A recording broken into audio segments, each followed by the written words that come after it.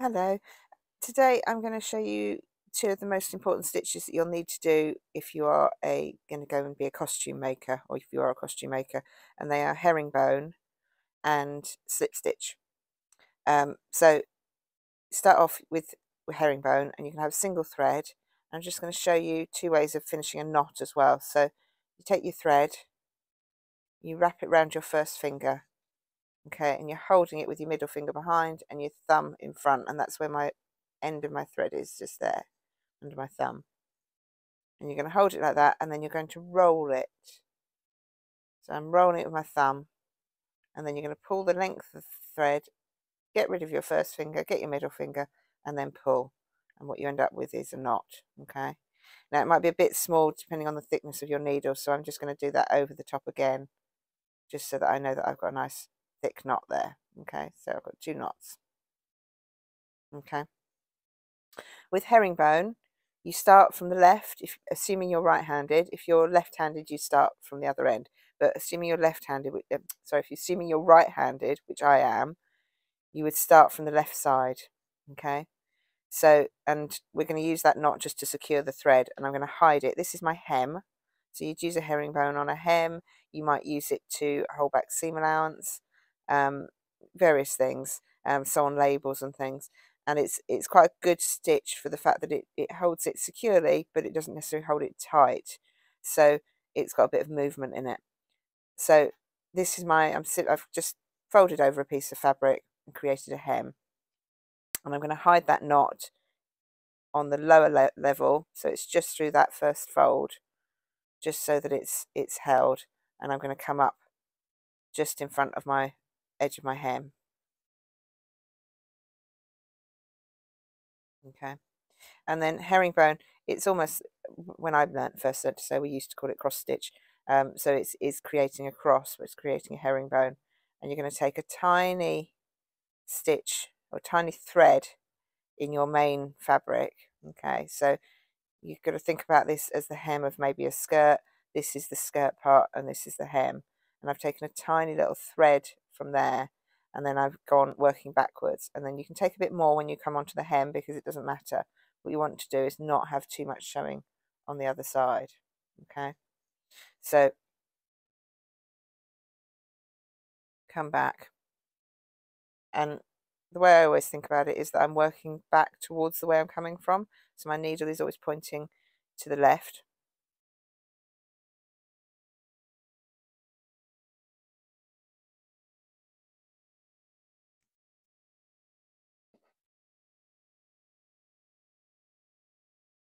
tiny bit of thread on your skirt. And you see you're creating this herringbone or cross stitch kind of effect.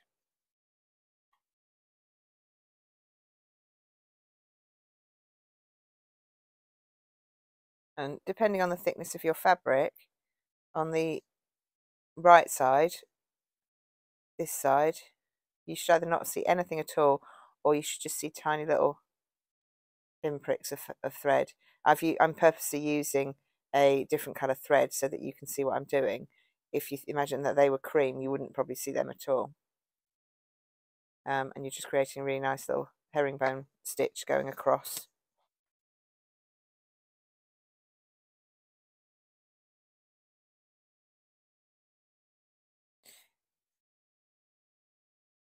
Try and keep the stitches fairly even and fairly small um, it really depends on what you're doing as to whether you want big herringbone or, or small herringbone, but this would be quite a nice kind of average size. You don't want to get too small, otherwise it defeats the object really. Um, but that's basic herringbone stitch. And as I say, if you're right-handed, always start from the left and you'll work with your needle pointing towards the left. If you're left-handed, you start from the right and you'd work across and your needle will be constantly pointing towards the right.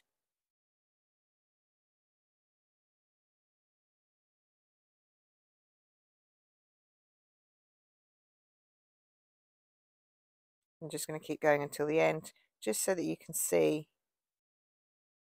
the movement picking up from the left and what you notice also the other thing is how I'm holding the fabric so I'm keeping the hem of the skirt or whatever it is nearest me okay? Um, and I'm working so that working sideways. Okay? The reason I say this is when we move on to slip stitch you'll see that I work in a slightly different way. You work with the hem nearest you and I'm holding the hem with my thumb. Obviously if you've got a, a long piece of fabric and you've got a skirt or something you would pin this in place first of all um, I'm only using a small area, so I'm not. I didn't bother pinning it. But obviously, if you feel that you need to pin it, pin it. Um, and obviously, if you're doing a, a large area, then I would definitely suggest pinning it all in place to begin with, and keeping it nice and flat. You can sit with it on your knee, um, but I generally try and keep everything on a table to work. Um, if you put it on your knee, you, you, there's a chance you sew it to your knee, um, to your clothing. Um, but also you um, will bend your fabric a bit more and you might end up, especially if you haven't pinned it, you might end up with it actually um, getting scrunched up somewhere. So it's better actually to, um, I think, keep it on flat on the table. It is entirely up to you though. And then at the end there, I'm just going to just tie a knot in my fabric. In my fabric, in my thread. There we go. Get rid of my tail. And then I'm just going to tuck that in so that I don't end up with a thread sticking out. I'm just going to tuck that in. It's not going through everything. It's just going in between the layers of the hem. And I'm going to come out over here. And I'm going to pull it so it's tight. Trim it off. And then that will mean that the tail is lost inside. Okay. And that is a herringbone stitch. And as you can see, you've just got some tiny little pinpricks on that side. Caught it a little bit here, unfortunately, but essentially you can see what a what a herringbone hem should look like. Okay, then we have slip stitch. So exactly the same hem kind of principle. Um, you really it really depends on what you're sewing as to what you need to use these for.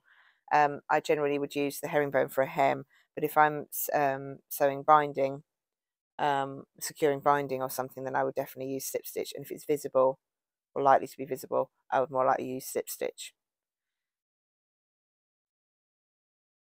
So I'm going to do exactly the same as I did last time. Hold the, hold the thread between my thumb and my first finger. Tail is just here.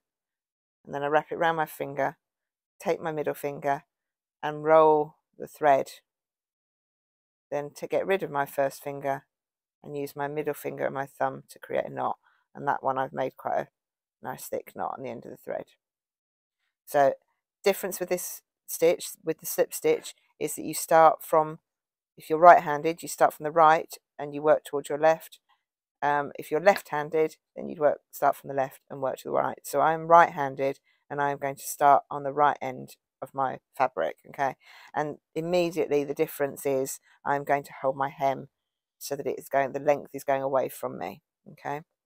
Um, I'm going to tuck that knot in between my layers. And I've come up on the fold, okay? So it's not on the hem, it is on the fold. And then I'm going to come back down right next to that, just next to the thread. You can either sit it just above or just inside the fold. So I'm going to sit above first of all and I'm going to come through and again you only want to catch a few little stitches or threads of your main part of your garment. And then you're going to come up on the fold.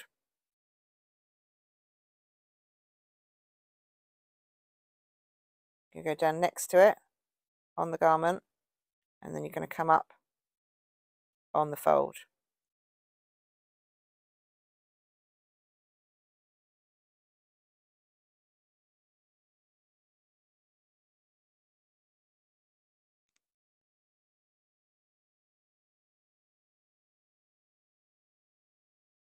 once you get used to doing it, it's good to try and get you so that you're under the fold with your your stitch that's going through the main fabric so that you don't see anything.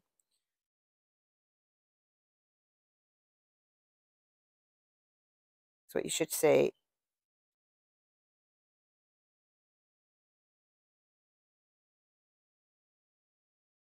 or what you should only see is a tiny little stitch here and obviously just pinpricks on that side. We see, although I'm even using um, this blue kind of thread, you can hardly see my stitches, okay? So it's, it's keeping it so it's tiny, right on the edge of that fold. What I see a lot of the time, I'm just going to do a bit that I don't want to see, I wouldn't want to see. A lot of people do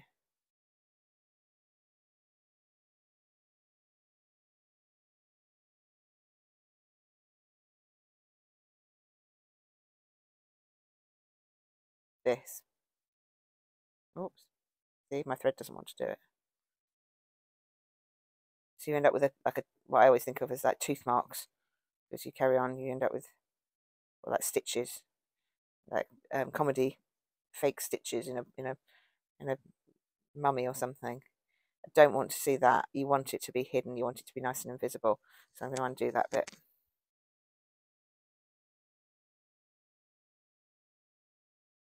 If you find, oh, right. If you find that your thread is knotting, it's probably because you've got too long a piece of thread. And it might mean that you have to do more knots. I mean, I've cut this quite short now, but you might need to do a few joins. Um, but to be honest, that's a lot quicker than trying to sort out knots that you've got caught in your thread. Um, it's a lot easier just to, to use a shorter piece of thread. So up through the fold, on the fold, you're going down right next to it or just underneath it.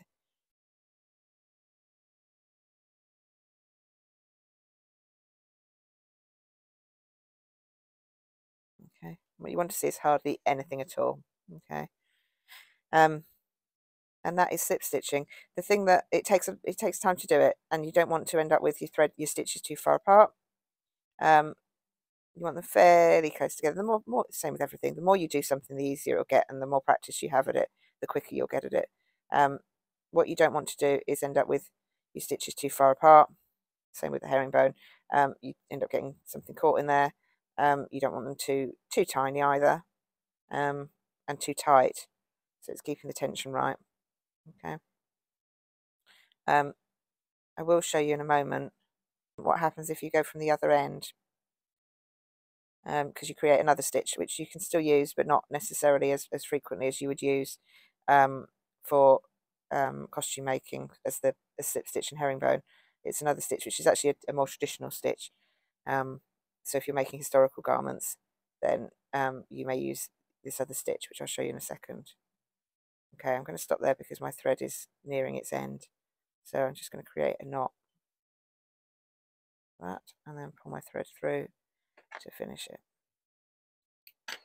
Okay, so that is slip stitch. So that's slip stitch.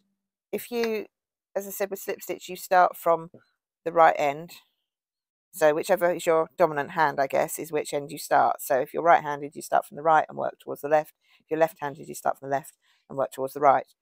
Um, if you do it the opposite way round, you actually create another stitch. So if I, I'm right-handed and I'm going to start at the left and work, and I have to do it again, I'm working with the hem to the left of my, um, you know, towards me, so vertically. Um, you have to that I can do it without thinking. Let me think about it. So you would do end up doing this, which means your stitches would be visible.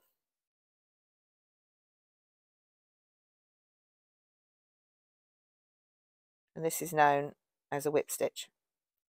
So it is possible that you need to use this, particularly if you're using, um, if you're making something more historical, because they did whip stitch their, their seams down and things like that. So it there is there is no definitive right and wrong. I'm going through a look quite a little bit on this side. It's a, I always think this is much of a quicker stitch than the others, but I guess I should just take my time with it as well.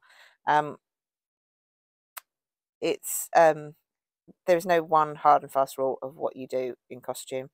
Um, different places have different ideas about how you should finish things. It depends on what you're making it for. It depends on who you're making it for, um, whether it's film, TV, personal project, historical um, accuracy is dependent on all of those things um, and the expectation. So it is always a good idea to check with whoever you're making for which stitch they prefer you to use and what if they don't if they say well I don't know then you then investigate which one is most likely to be accurate for that garment, for that um, production, etc. Okay, so that is whip stitch. So as you can see, that's working from the left going towards the right and it is visible. So if you try and do slip stitch, you'd end up doing that. Okay, if you work the wrong way. So that's working left to right for a right-handed person, creating whip stitch. This is slip stitch working from the left, sorry, working from the right for a right-handed person and working towards the left.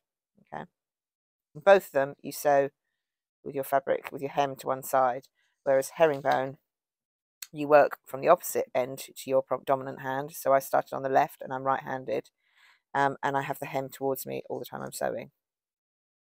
I hope that helps, um, and if you have enjoyed this video, please like and subscribe it. Thank you very much. Bye-bye.